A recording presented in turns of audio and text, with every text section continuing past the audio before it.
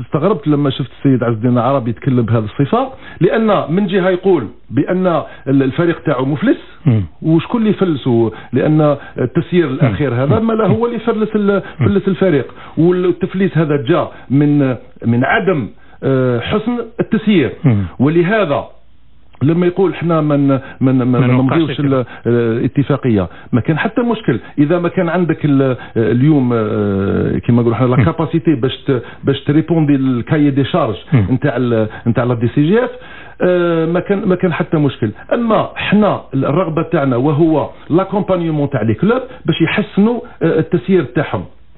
وما يقدرش المسؤولين يقولوا آه، كيفية آه، الخروج من من المشكل هو إلا تعطيونا الفلوس. تعطيونا الفلوس نصرفوا هذه الفلوس. لا لا الوضعية مرافقة الوضعية ما لازمش نقراوها بهذا بهذا الباب. لازم نستعرف بأن يعني حتى المساعدة تاع تاع يعني السلطات آه، لما يساعدوا كرة القدم لازم يكون حسن التسيير في هذا في هذه الأموال. ما يقدروش يكونوا أموال باهظة يعني آه، تصرف بدون مراقبة آه، ولهذا آه، يعني الكلام اللي تكلمه السيد عز الدين ماهوش ماهوش في في محله لأن حسن التسيير من الأولويات نتاع نجاح نجاح الكرة المحترفة.